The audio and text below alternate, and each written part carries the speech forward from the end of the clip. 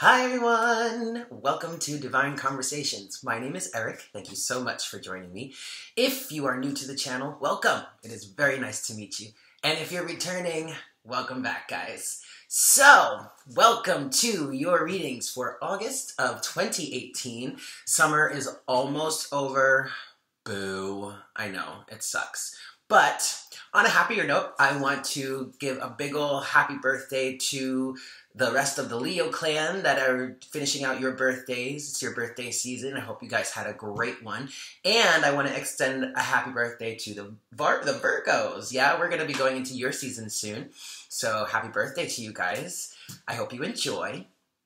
Um, so down to business, these are general readings, okay? So take what resonates with you and leave what doesn't. Yes, don't try to like fit something in there and, you know, when it, you know, it really doesn't resonate, it doesn't fit, yeah?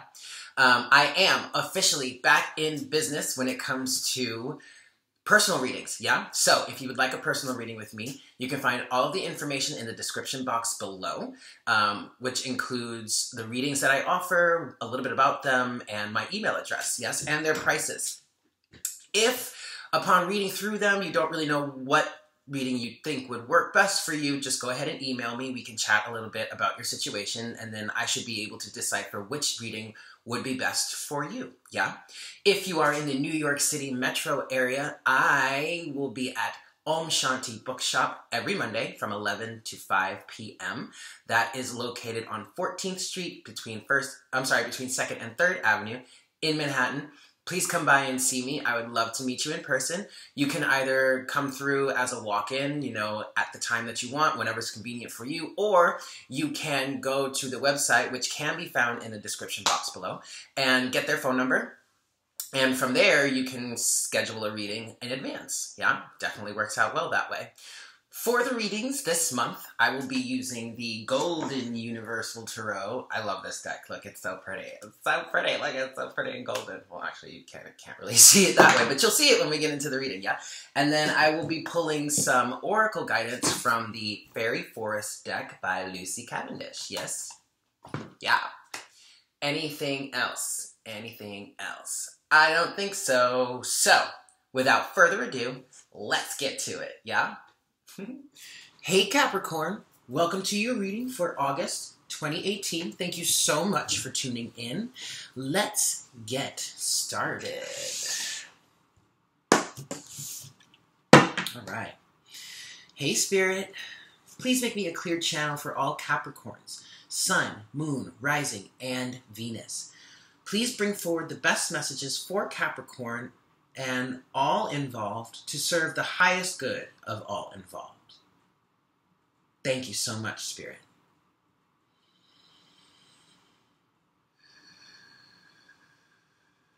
Capricorn, I'm seeing a deep green color for you right now. Um, you're you could very much grounded. I mean, you are an Earth sign. Um, to me, though, the the the depth of this color it's like a deep forest green. And forest green isn't bad. It's just I'm picking up some sort of energies of maybe being ooh, whoa.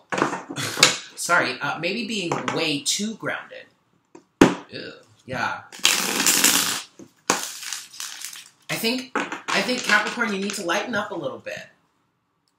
Things might be really intense around you right now, and that might be why you're you're like so focused on being grounded more than you normally are as an earth sign, but that's only think making things more intense for you. Lighten up a little bit. Like I want to tell you to force yourself to have some fun, but that's probably going to be counterproductive, counterintuitive. Um, yeah, you got to let go a little bit. You can't control everything, Capricorn.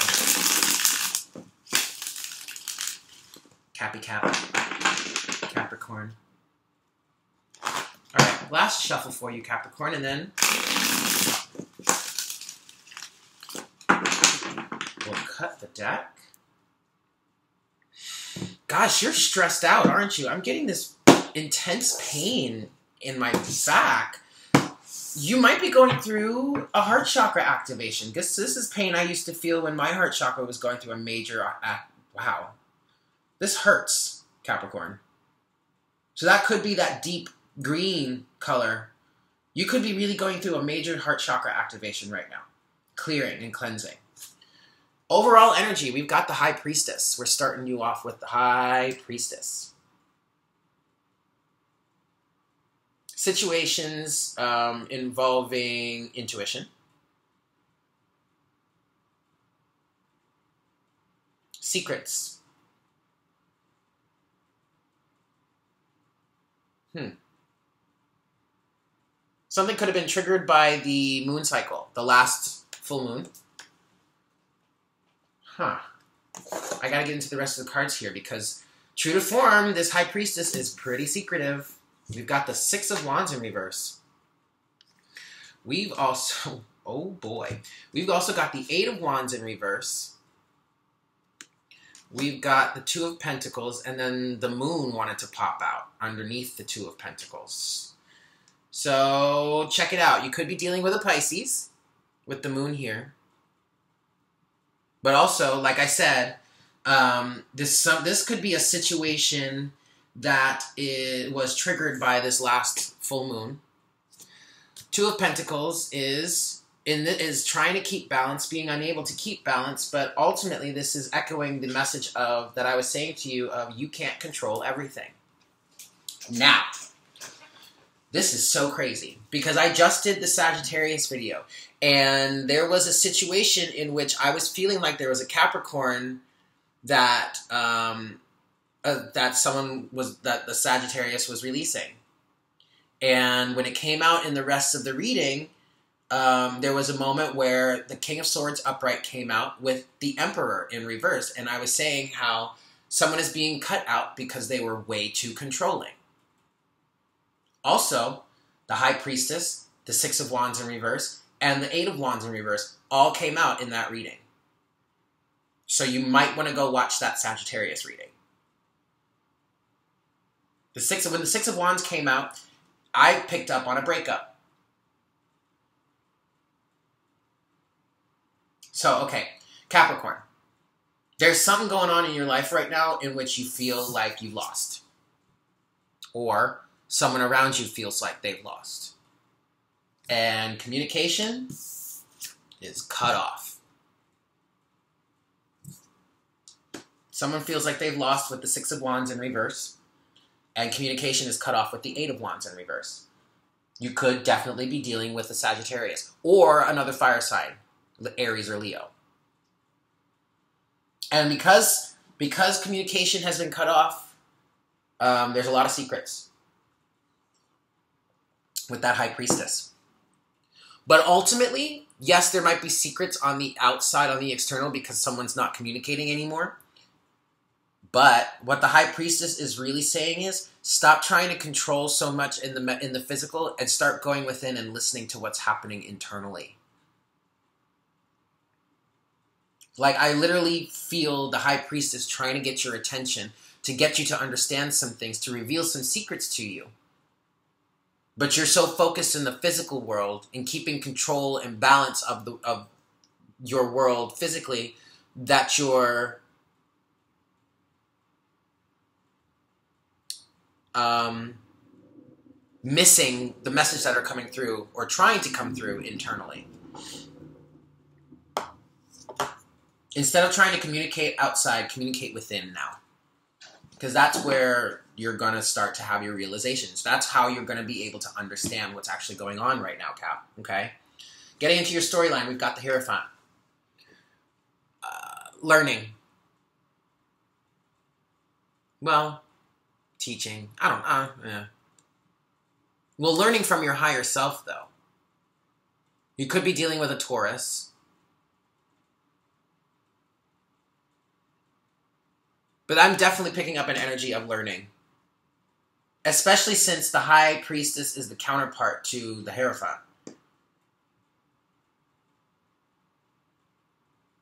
They're both trying to tell you something.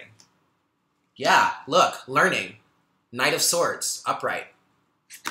Coming to a, a, a better understanding of the situation and your involvement in it specifically because ultimately that's what you're going to learn the most from.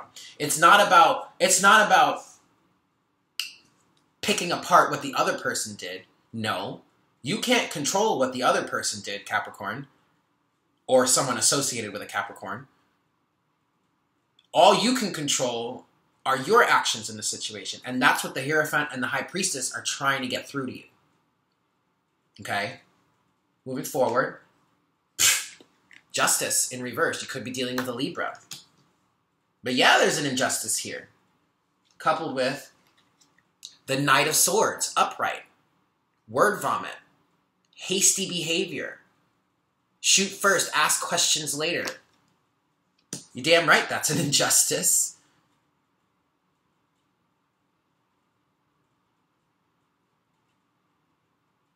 someone in this situation was very quick to judge.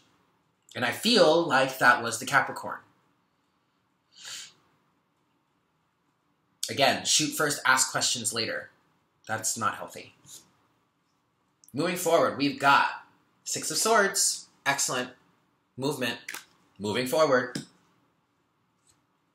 Yeah, you guys are probably going in your own separate directions right now, but that's absolutely needed. Coupled with Good. The Seven of Swords in reverse. Moving away from deceptive behavior, moving away from self defeating behavior in some cases. And this is synchronistic. You've got the six and the seven right next to each other, coming out right at the same time.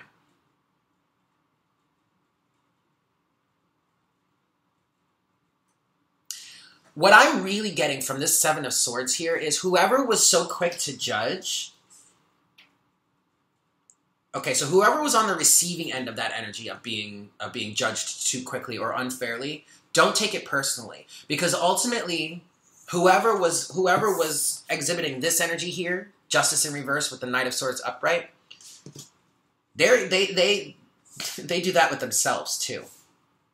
And that's where the deception comes in. The self the self deception, the self defeating energy, the self sabotaging energy. This isn't five of swords. No but it's the seven of swords and that's just kind of the energy that I'm, I'm, I'm getting from here because ultimately you will be stealing from yourself when you exhibit this sort of energy upon yourself and so now someone is starting to move away from that okay to some calmer waters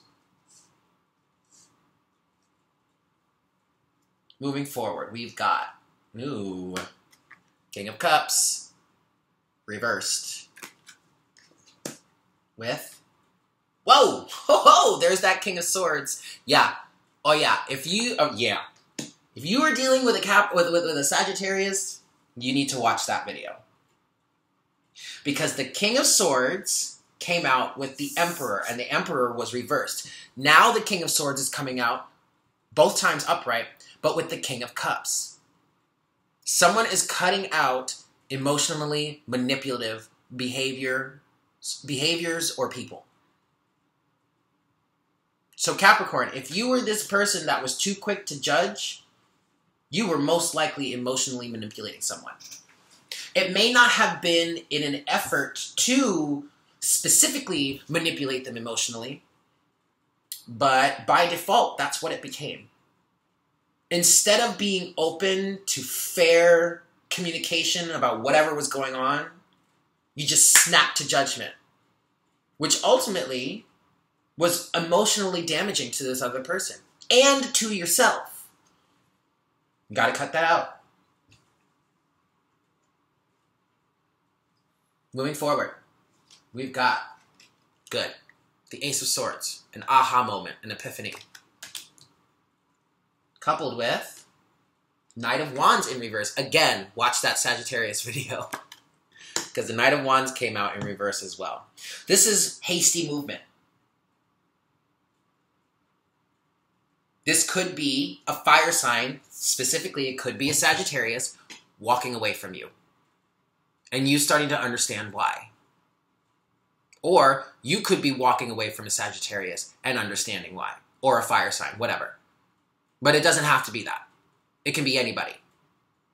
But someone's walking away. Someone is not putting forth this passion and fire anymore. For some very valid and legit reasons with the, the Ace of Swords upright here. Moving forward, we've got, aha, the magician in reverse manipulation, coupled with Oof, the Knight of Pentacles. So this could have been you, Sagittarius, as in, I'm not Sagittarius, I'm sorry, uh, Capricorn. Um, and I really do feel like this is this isn't this is you Capricorn, or this could be another Earth sign. Doesn't have to be. It could be anybody. But what I'm really getting here is someone was manipulating the situation, but staying stagnant in old energy, like like manipulating the situation from the place of um, uh, of stagnancy, like not willing to change and so trying to manipulate the situation so that they can stay as they are currently even though as they are in that moment or as they were in that moment was toxic to themselves and to others yeah all right moving forward whoa jeez the Two of Cups in reverse. Again, came out in the Sagittarius video. And the Queen of Cups. But the Queen of Cups is upright. Um,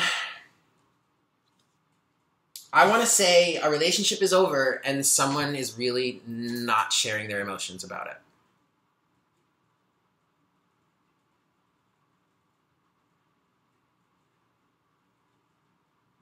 Mm-hmm. But someone is really there's there's some deep intuition here. There's some psychic knowing going on with this. There could be a situation in which someone is intuitively starting to understand that this situation may not work out the way they, the way they want it to. There's deep emotion emotion here. That's for sure it might be overwhelming, but it's not something that whoever is feeling it can't handle. Because the Queen of Cups is upright. So she can manage, like she can she can do it, she can handle it. But I'm just feeling some very excuse me, very, very deep emotion right now. And we've got the counterparts. Because the King of Cups came out over here, and the King of Cups is is reversed.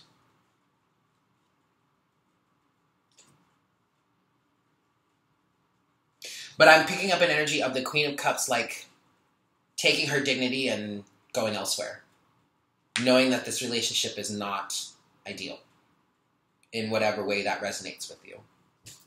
Finally, we have okay, good. Five of Swords in reverse. But see, this is a shit starter card. So someone's releasing this shit starter energy, this manipulative energy. Five of Swords in reverse is coupled with the hanged man in reverse because enlightenment has been gained has been has has been achieved someone really starts to is starting to see or has really seen the situation from a different point of view and i really feel like that's whoever is depicted by this two this, this uh, uh, queen of cups here someone is starting to really has really is starting to or has seen the manipulative ways of the other. And is understanding that balance will not be, cannot be brought into this situation without the full cooperation of both people involved.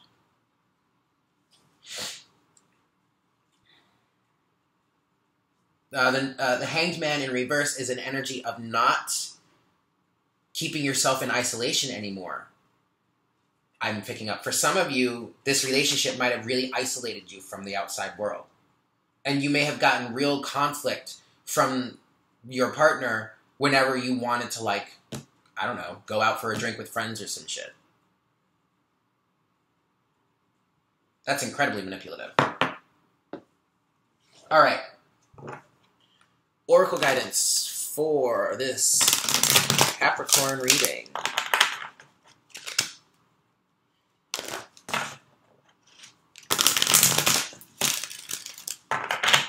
All right, Spirit. One card, please, in relation to this reading.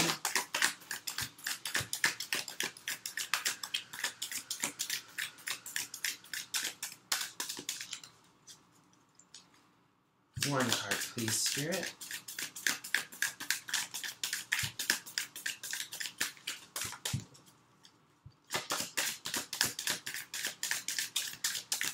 One card. There we go.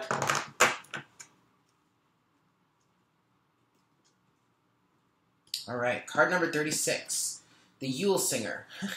Rebirth, feasting, joy. And this is a card of number nine, so this is endings. This could have something to do with the holiday season. Huh. I mean, it's August. I know we don't. I know we don't want to talk about the holiday season right now. but anyway, that's something that I'm picking up there. All right, card number 36. There is there could be an energy of you being back on your feet or feeling refreshed, rebirthed after this situation towards the holiday season. Okay. The Yule Singer. Rebirth, feasting, joy. There are times in life when our light dims so that it seems it may go out for all eternity. But when this time comes, you are being put to a great test. If you persevere at this time, you will experience a depth of life experience that will lead you to begin reshaped, transformed, and in many ways, changed. You are undergoing such an experience at present, and this card is here to share with you that at such a time of great darkness and suffering, a new light will shine and bring you back to life, a kind of reincarnation within the same life you are now experiencing. When this takes place, the Yule singer will come to you and sing to you the song of your deepest self. You will open up with this song and begin to live again. The pain will dissolve slowly, and surely you will enter into a time of joy and light, while the flame of your spirit rises high once again within your soul. Expect new friendships, easy connections, fortunate moments, and growth when this beautiful card comes to you. The dark times are done with for now. You are stronger, brighter, and beginning once again a bright new cycle. Sing your song.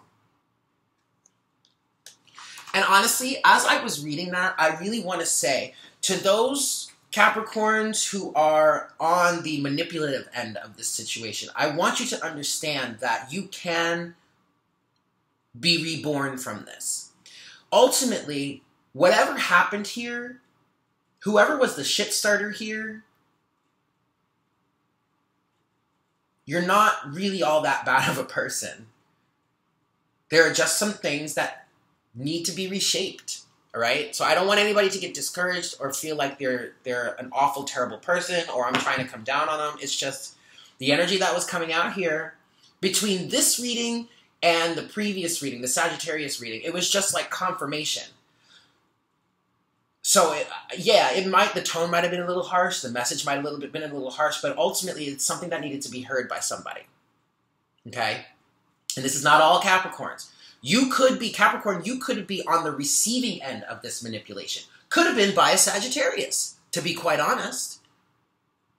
These are general readings, the energies are interchangeable. But just the fact that in that Sagittarius reading, flyers came out, the devil came out, and I picked up specifically on a Capricorn that was being manipulative and toxic and was so stuck in their self deprecating elements that it was destroying this relationship or whatever. Went through the Sagittarius reading and that came out a little more. And then I get to the Capricorn reading and a ton of the same cards come out. Can't make this stuff up, guys. All right. So, anyway, I love you all so very much. Thank you so much for tuning in. And I look forward to connecting with you again for the month of September. Yeah?